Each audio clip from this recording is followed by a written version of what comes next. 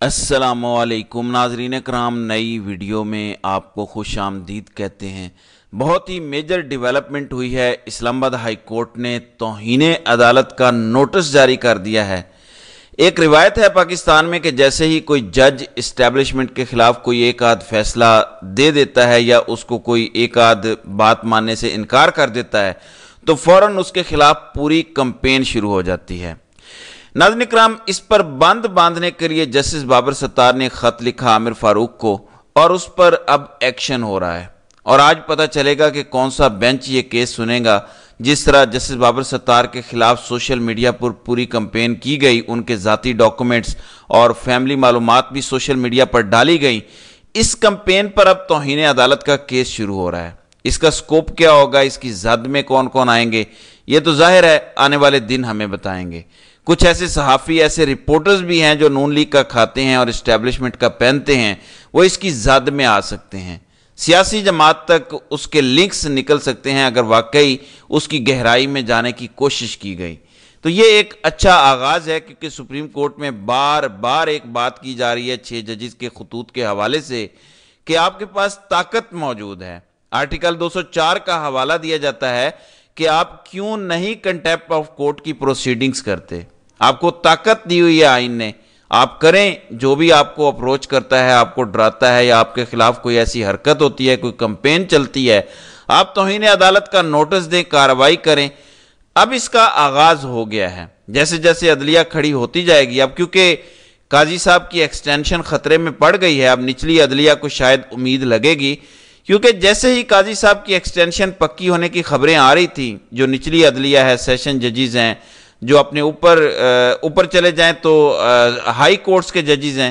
ان سب کو یہ لگتا ہے مجسٹریٹ وغیرہ جو فیصلے دیتے ہیں، نیچے سے لے کر اوپر تک، ہر جگہ مایوسی تھی کہ اگر ہم سٹینڈ لیں گے بھی، حق اور سچ پر فیصلہ دیں گے بھی، تو اوپر ہماری کوئی سننے والا نہیں ہے۔ اوپر تو قاضی صاحب بیٹھے ہوں گے اور اگلے تین چار سال یہ ہوگا۔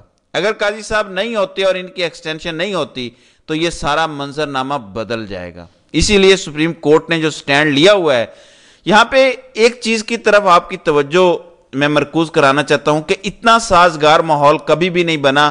عدلیہ سٹینڈ لے رہی ہے، ججز کھڑے ہو رہے ہیں، سپریم کورٹ سے ججز بول رہے ہیں۔ ہائی کورٹ کے ججز بول رہے ہیں، باقی عدالتوں کے ججز نے بول دیا ہے۔ اس سے زیادہ سازگار ماحول کیا ہوگا کہ عامر فاروق بھی سٹینڈ لیتے۔ لیکن وہ اب تک عمران خان کے کیسز کو سکرپٹ کے مطابق چلا رہے ہیں۔ کل بھی تھوڑی دیر کی سماعت ہوئی اور سائفر کیس بدھ تک ملتوی ہو گیا۔ اس کے بعد القادر ٹرسٹ کیس میں جو ضمانت کا کیس لگا ہے وہ وہ بھی نہیں سنا گیا۔ جو ملٹری اسٹیبلشمنٹ نے سکرپٹ دیا ہوا ہے عامر فاروق کو، بظاہر ایسا نظر آ رہا ہے، اس پر وہ چل رہے ہیں پوری طرح۔ کیا ان کی مجبوریاں زیادہ ہیں؟ خوف تو اتنا نہیں ہو سکتا کیونکہ ایسے حالات سازگار ہیں کہ خوف اگر ہوتا تو وہ اب تک ختم ہو چکا ہوتا۔ مجبوریاں زیادہ ہیں، کوئی کمپرومائزنگ ویڈیوز ہیں، کوئی بڑے وعدے کیے گئے ہیں یا وہ رضامندی سے یہ کام کر رہے ہیں، کیا وہ، یا پھر وہ نون لیگ کے ہمدرد اور پیپلز پارٹی کے ہمدرد ہیں؟ یا شروع سے ہی وہ اسکریٹ آؤٹ ہیں؟ اس کا ہمیں پتہ نہیں ہے۔ کبھی یہ بات کھل کے سامنے آئے گی، لیکن ایسے سازگار ماحول میں جب سب کو کھڑا ہو جانا چاہیے، عامر فاروق کا اب تک سکرپٹ پر چلنا میری کم از کم سمجھ سے باہر ہے۔ پہلے کی بات اور تھی، خاص طور پر جب نو مئی کا ایک زوردار بیانیہ آیا ملٹری اسٹیبلشمنٹ کی طرف سے، تو سارے ججز بھی ڈر گئے، گھبرا گئے، پیچھے ہٹ گئے، کیونکہ انہیں میسج دے دیا گیا تھا کہ ہمارے رستے میں مت آنا۔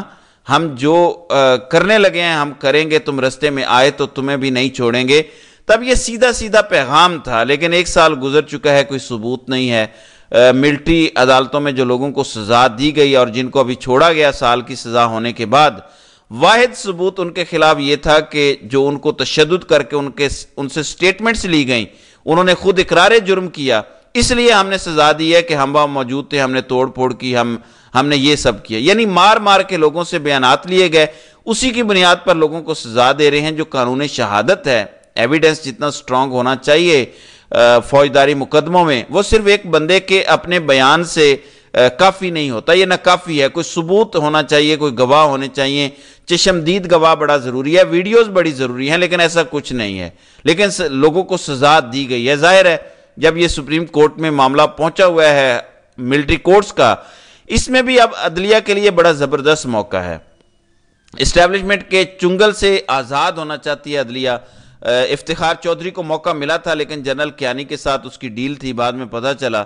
لیکن ابھی ڈیل نہیں ہو رہی۔ ابھی اسٹیبلشمنٹ واضح ہے کہ ہمیں یہ کرنا چاہیے، اگر اسٹیبلشمنٹ دوسری طرف کھڑی ہو جاتی ہے تو عدلیہ آزاد ہو جائے گی۔ عدلیہ کے آزاد ہوتے ہی پاکستان آزاد ہونا شروع ہو جائے گا اور پاکستان میں کسی بڑے انقلاب کی ضرورت نہیں رہے گی، کیونکہ عدلیہ ہی رول آف لا قائم کرتی ہے، انصاف دیتی ہے، جس سے معاشرہ آزاد ہونا شروع ہو جاتا ہے۔ ناظرین اکرام آپ کو بتاتا ہوں کہ جو تحریری فیصلہ آیا ہے سپریم کورٹ کا، اس میں کس چیز کا اقرار کیا گیا ہے؟ اٹارنی جنرل آف پاکستان اور الیکشن کمیشن آف پاکستان نے یہ اقرار کیا ہے، بلکہ یہ کنسیڈ کر دیا ہے کہ پہلے عدالت نے اس کے بارے میں کوئی فیصلہ نہیں دیا۔ ہوا یہ ایک آئین کی تشریح کا مسئلہ ہے، اس میں آئین خاموش ہے۔ یہ انہوں نے خود تسلیم کیا ہے۔ کس نے مانا ہے؟ الیکشن کمیشن اور اٹارنی جنرل آف پاکستان نے۔ خود تسلیم کر لیا ہے کہ جو مخصوص نشستوں کا کیس تھا اس میں آئین خاموش ہے، قانون میں کچھ لکھا ہوا نہیں ہے۔ تو پھر یہاں سوال پیدا ہوتا ہے کہ کس قانون کے تحت الیکشن کمیشن نے فیصلہ کیا کہ یہ نشستیں باقی جماعتوں کو دی جائیں۔ در حقیقت، انہوں نے اپنے جرم کا اقرار کیا ہے، اب تشریح ہونا باقی ہے۔ الیکشن کمیشن کیا کر سکتا تھا میں آپ کو بتاتا ہوں۔ جب ایسا کوئی سوال آ جائے، دیکھیں ایک ان پریسیڈنٹڈ صورتحال تھی کہ پاکستان کی تاریخ میں کبھی بھی ایسا نہیں ہوا کہ انتخابات بھی غیر جماعتی نہ ہوئے ہوں۔ لیکن اس کے باوجود آزاد امیدوار اتنی بڑی تعداد میں جیت گئے ہوں۔ یہ کبھی بھی نہیں ہوا۔ ان پریسیڈنٹڈ ہے۔ ان پریسیڈنٹڈ سچویشن میں الیکشن کمیشن کو چاہیے تھا کہ اپروچ کرتے۔ حکومت سے یا تو ریکویسٹ کرتے کہ attorney general of Pakistan approach کریں سپریم کورٹ کو اور کہیں کہ ہمیں گائیڈ کریں اس کے اوپر اور سپریم کورٹ پھر گائیڈ کرتی۔ یہ تھا پراپر آئینی اور قانونی طریقہ۔ لیکن یہاں کیا کیا گیا؟ خود اب تسلیم کر رہے ہیں عدالت میں۔ یہ ایک ایسا مسئلہ ہے جس میں آئین خاموش ہے، قانون خاموش ہے، اس کی کوئی تشریح بھی عدالت نے نہیں کی ہوئی۔ آئین کے آرٹیکل اکاون بٹا چھ ڈی اینڈ ای اور ایک سو چھ بٹا دو سی اس کی تشریح کرنی ہے۔ خاص طور پر اکاون نمبر اور ڈی اور ای کی جو تشریح ہونی ہے۔ جب یہ اب مان رہے ہیں تو یہ کام پہلے کیوں نہیں کیا؟ اور دیکھیں یہ کیسی دو تہائی اکثریت ہے کہ ایک عدالتی فیصلے سے ختم ہو گئی۔ تو کتنا بھونڈا مذاق کیا گیا پاکستانی قوم کے ساتھ کہ ایک اتحاد کو دو تہائی اکثریت دے دی گئی، جو ایک عدالتی فیصلے سے اٹھا کے باہر پھینک دی گئی۔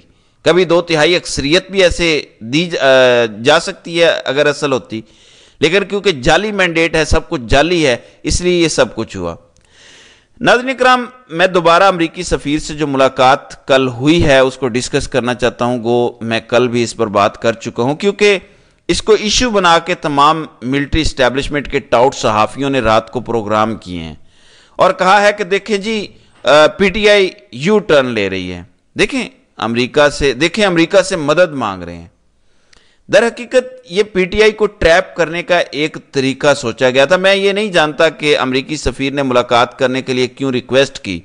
لیکن جب اس ملاقات کے لیے رابطے کیے گئے، تو تحریک صاحب نے بڑا اچھا فیصلہ کیا کہ آگے سے کہا کہ ملاقات ہوگی تو تھرو پراپر چینل ہوگی۔ یعنی امریکی سفیر قاعدے کے مطابق ہمارے فارن آفس سے ریکویسٹ کرے گا۔ فارن آفس رابطہ کرے گا پارٹی سے، پارٹی پھر بتائے گی کہ ملاقات کیسے ہو سکتی ہے اور یہ ملاقات آؤٹ ان دا اوپن ہوگی۔ یعنی بند کمروں میں خفیہ طریقے سے ملاقات نہیں ہوگی کہ لوگ امبیسی جا رہے ہیں وغیرہ وغیرہ۔ یہ اسمبلی کے اندر اپوزیشن لیڈر کے چیمبر میں ملاقات ہوئی۔ تحریک صاحب نے ان کی گیم سمجھ لی تھی کہ یہ بدنام کریں گے کہ دیکھیں امریکیوں سے ملاقات کر رہے ہیں۔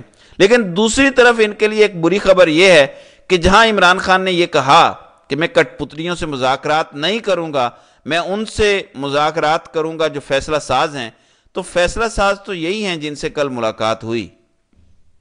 اگر یہ حکومت گرا سکتے ہیں اور دوسری بنوا سکتے ہیں، تو میں کیوں نہ کہوں کہ یہی فیصلہ ساز ہیں۔ اور میں کیوں نہ کہوں کہ فیصلہ ساز ہی مجبور ہو کے آگے ہیں بات کرنے کے لیے۔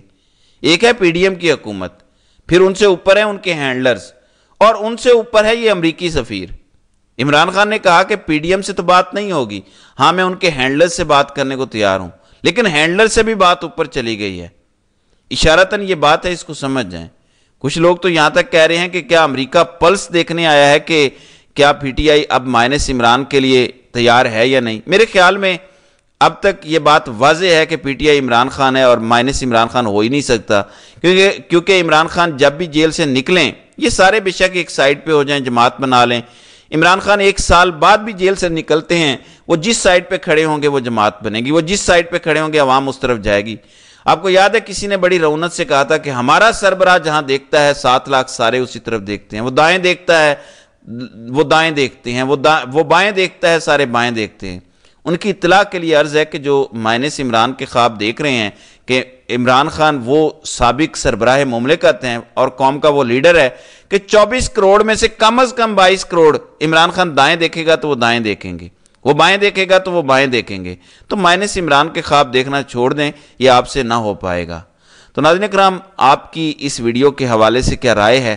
آپ اپنی رائے کا اظہار کامنٹ سیکشن میں ضرور کیجیے گا۔